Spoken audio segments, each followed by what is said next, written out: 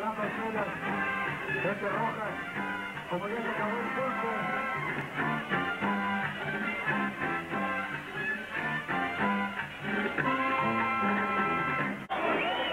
Yo creo que la mayoría de gente de la que estamos aquí reunidas esta tarde sabe lo que este jinete ha sido durante toda su trayectoria y ahí lo estamos viendo en el cajón de los sustos.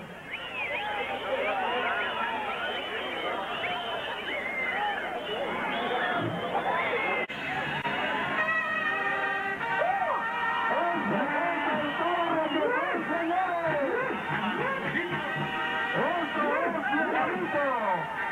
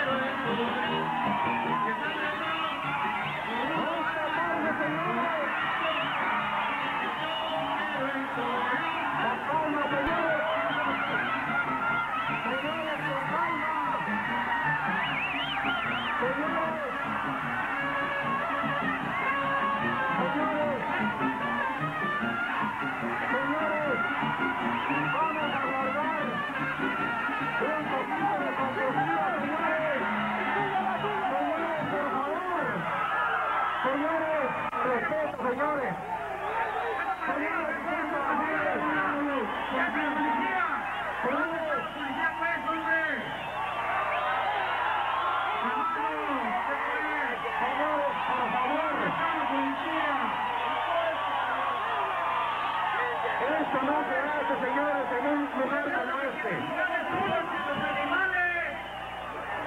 Señores, puto señores. ¡Sigue a tu madre, güey!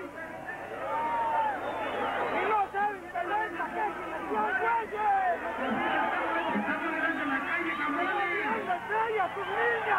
la!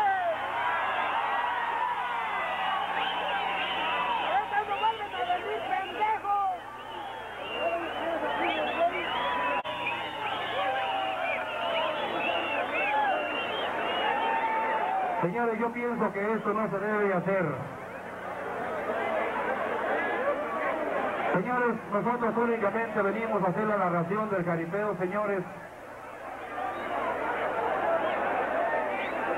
La gente estaba pidiendo que no quería den- gente dentro del ruedo. Si alguna persona sa- sabe sobar, si es tan amable, señor, baje aquí a este micrófono para atender al señor Jesús Nolasco, que por ahí tiene una dislocación de hombro.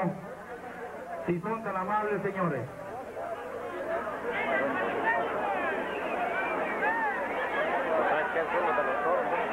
Eh, amigos aficionados, si entre el público se encuentra alguna persona que sepa sobar, le pedimos de la manera más atenta aquí al cajón para el señor Jesús Nolasco, desgraciadamente un golpe, tiene el hombro zafado.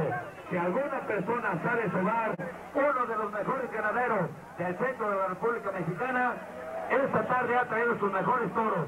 Desgraciadamente, él llevó un golpe en el hombro. Si alguna persona sabe sobar, de favor se lo agradeceremos que se presente aquí al cajón.